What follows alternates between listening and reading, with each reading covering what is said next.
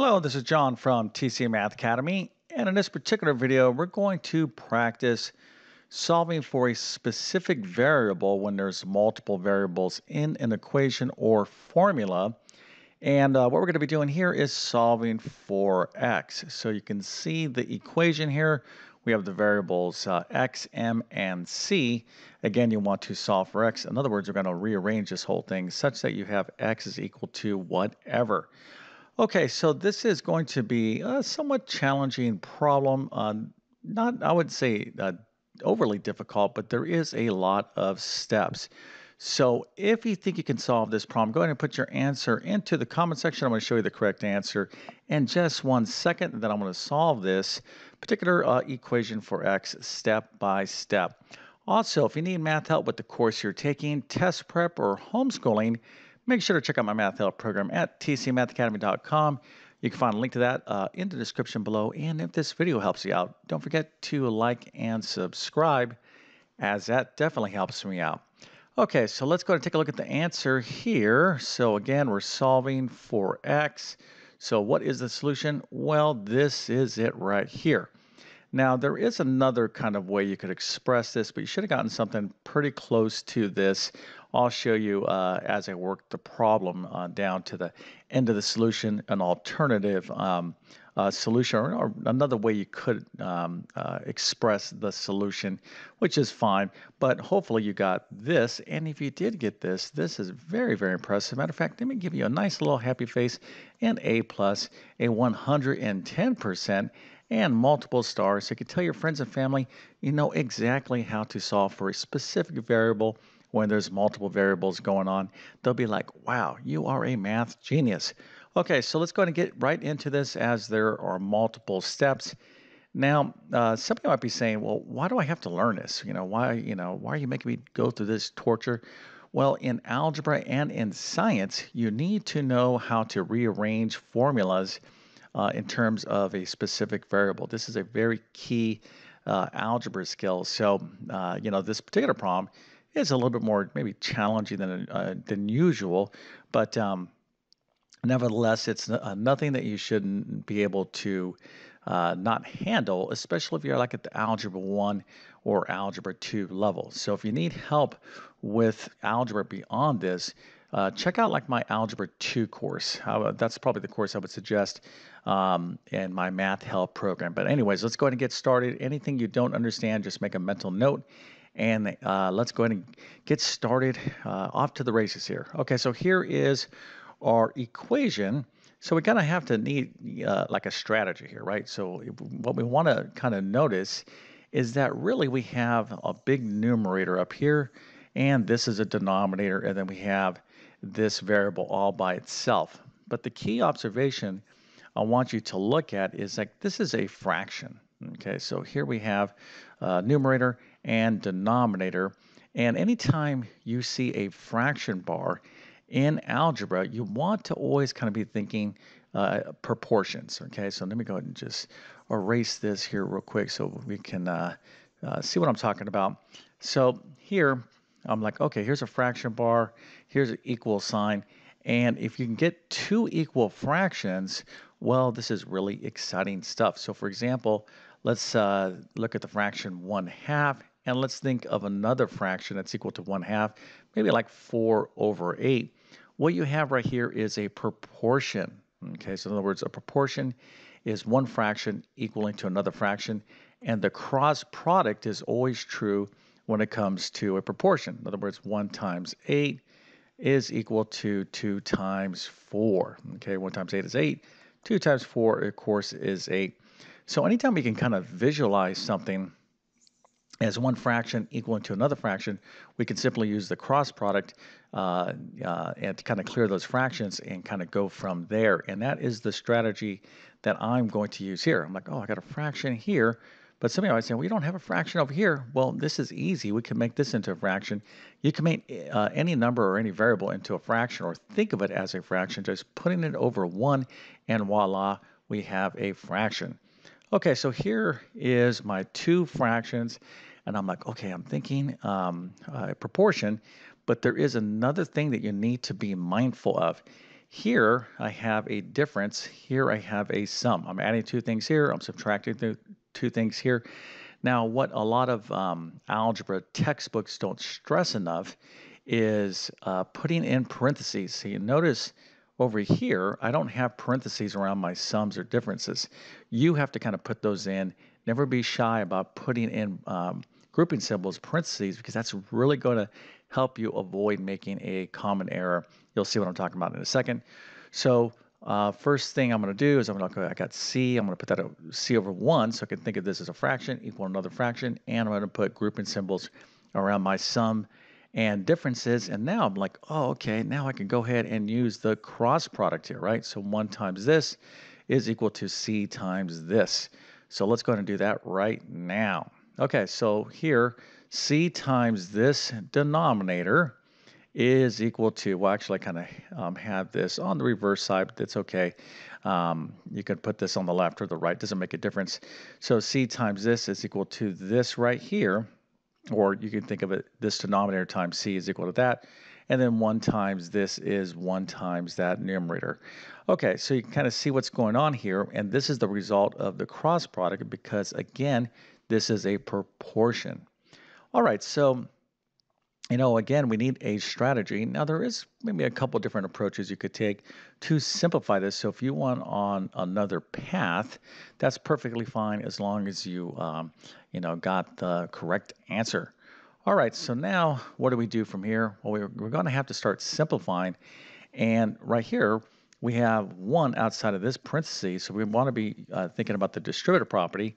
Well, 1 times this is not going to change this, but this c, I'm going to have to distribute into these two terms. Now, if I didn't have these parentheses right here, okay, let's just suppose I just had this, a lot of students would just multiply this c by this first term. Okay, it's not obvious I got to multiply this c by this second term. So that's why you really, really want to uh, put in those grouping symbols. Now, everything I tell you, okay, first of all, if you follow me, uh, well, if you're with me uh, so far in this video, thank you very much. But if you follow me on my YouTube channel, uh, you know, I try to bring you valuable information. Okay? I'm not just trying to show you, hey, look at me, I'm doing a math problem. That's not the idea. What I'm trying to impart is decades of teaching mathematics and studying mathematics and showing you all the little like little tips and tricks to help you reduce making errors. Okay, a huge part of mathematics is not making a mistake, right? We all make errors. I still make errors to this day, but the name of the game is to focus and reduce making errors. So again, you know, if you really want to be uh, successful as possible in this level of mathematics, you know, uh, if I tell you, hey, put this in, you know, follow my advice, it will pay off. Okay, so let's go to continue on here. So again, I'm like, all right, well, I got to take this one and multiply, uh, use the distributive property into these terms. Nothing's going to change, so we'll just drop these grouping symbols. And then this C, okay, I'm going to uh, use the distributive property, so I'm going to end up with C times x to the 1 third. That's equal to this, and then C times m to the 1 third is C to the m to the 1 third. Okay, so finally, finally, um, I have all my terms. I distributed this C. So what should I do now? Well, remember, what variable am I solving for? Well, I'm trying to solve for x. So you need to really kind of focus in on the x's. So here we have an x right here, and here we have an x right there, right? So what, what are we going to have to do? Well, we're going to have to get all the x's over here, Okay, if we're trying to solve for x, we're going to have to get all the x stuff, all those terms on the left-hand side of the uh, equation, and then we're going to have to put everything else over here. Okay, so uh, that's what we're going to do next. We're going to move those x's over here, and then everything else, um, like this uh, negative m to the one-third, is going to have to go on the other side, right? So again, don't let all these little variable uh, you know, terms confuse you. You have to stand back and kind of see the big picture. All right, so let's go and start doing that right now. So first things first, let's go ahead and move this x uh, term over to the left-hand side. So I have c x to the one-third, so I'm going to subtract c x to the one-third from both sides of the equation. Now, you, it goes without saying that you should already know how to solve you know, uh, linear equations and be really, really good at this stuff. If you are thoroughly confused, okay, which some of you may be, well, for, you know, it's not the end of the world. What you need to do is just say, okay, I'm going to have to improve with this. So I'm going to strongly suggest you, um, again, go to my Algebra 1 or Algebra 2 course, probably out more like Algebra 2 for this uh, level of problem, and uh, review uh, solving linear equations, okay, and how to solve uh, for specific variables. Start with the easy problems and build your way uh, up. But anyways, let's proceed. So I'm subtracting this cx to the 1 third from both sides of the equation. I'm doing this to get all the x's together. All right, so the result of that, remember I'm just going to kind of add down in a column manner. I get x to the 1 third minus c x to the 1 third. So we'll kind of express that in here in this group. And then we have minus uh, m to the 1 third and then this goes away because we're subtracting this one from one another, and we're just left with c uh, m to the 1 third. Okay, so now what? Well, again, we want all of our x's over here, and we've already done that, but now we got to get rid of this um, m uh, term, and let's move it over there. So we're going to add m to the 1 third to both sides of the equation. You can see that work right there. And the result of doing that will be uh, c m to the 1 third plus m to the 1 third. So you can see that written right there. And here's what we ended up on the left-hand side, x to the 1 third minus cx to the 1 third. So some of you might be saying, wow, this is a lot of work. Well, yes, you know, there is a lot of steps. Hopefully you don't find any of them overly difficult. But again, you know, this is not a problem that you would, you know, kind of like start learning this, jump into a problem like this, start with more basic stuff and work your way up. All right, so what are we going to do now? Well, again, I'm thinking, well, how am I going to get x by itself? I have uh, x to the 1 third minus cx to the 1 third. Well, what you want to be thinking here is you can factor out an x to the 1 third. Okay, so anytime you're kind of stuck with a problem, you're not sure what to do, always look for opportunities to factor. Okay, and I'm like, well, if I factor out an x to the 1 third, hopefully you can see that these are common, right, amongst these uh, terms. I have x to one third, x to one third here, uh, here. So this is the greatest common factor. I can factor out x to the one third because look, if I multiply back in, I'm going to get this right here, right? x to the one third minus c x to the one third. So let's factor it out. And the lovely thing um, by doing that is now I have one x term all by itself, right? Now, because I factored out this x to the one third, I'm thinking, well, maybe I can factor out uh, over here this m to the one third, and you certainly can.